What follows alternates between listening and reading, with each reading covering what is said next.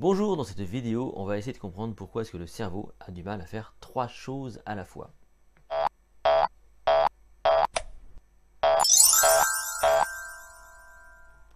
Vous ne vous en rendez pas compte, mais là en ce moment je vous parle, mais je suis en train de faire plusieurs choses à la fois. Je suis en train de piloter ma caméra, de penser à ce que je dois vous dire, d'anticiper les petits trucs qui font que je vais faire passer les petits jingles, etc.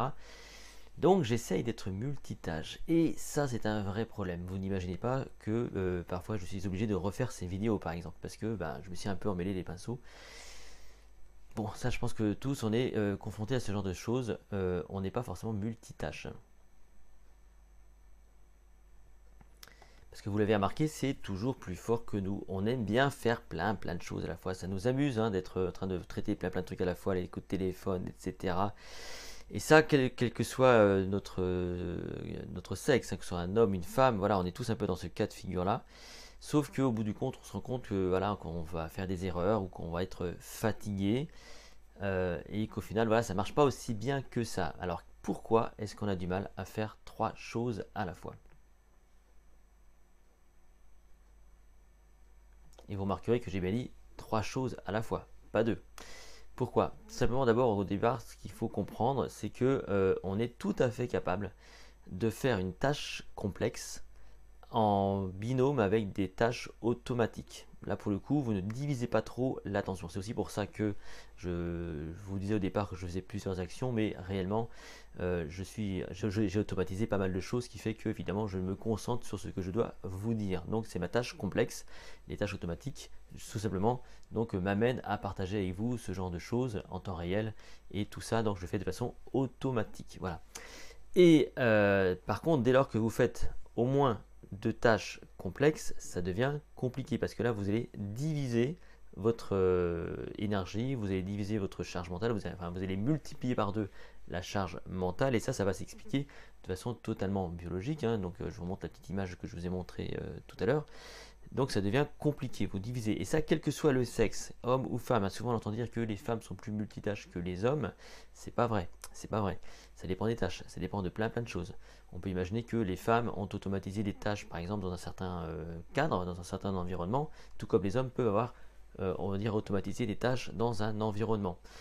Donc, euh, dès lors que vous faites deux tâches complexes, c'est compliqué. Pourquoi? Parce que tout simplement, vous allez solliciter vos lobes lobes frontaux ici. Donc, vous avez deux hémisphères cérébraux, vous savez. Hein, donc, sur chaque lobe, vous avez un lobe frontal.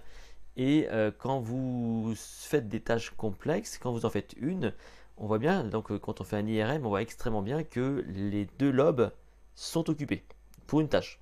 Quand on en fait deux, qu'est-ce qu'on remarque? Eh bien, on remarque que ben, les deux lobes sont, occupés, mais ils gèrent deux choses différentes. Donc, on est capable de gérer les deux choses plus ou moins bien. Donc, euh, parce que forcément, on est un peu moins efficace si on fait euh, la moitié des choses.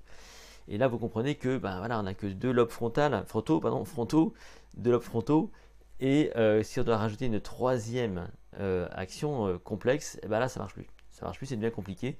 Et c'est pour ça qu'on ne peut pas faire trois choses à la fois, en tout cas trois choses complexes à la fois. Ou alors c'est vraiment s'assurer de faire des erreurs. Donc la conclusion de tout ça, c'est quoi?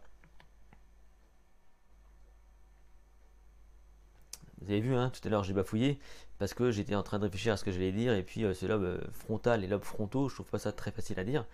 Donc la première grande, euh, on va dire, euh, le premier grand enseignement, le premier grand conseil qu'on peut donner, c'est de faire évidemment une seule tâche à la fois. Ça c'est la base, hein, donc c'est faire une seule tâche à la fois.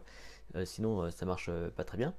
Vous devez aussi donc vous organiser. Hein. Si vous ne vous organisez pas bien, c'est compliqué. Donc les personnes organisées planifient les choses, ça fait les choses une par une et ne se dispersent pas. Hein.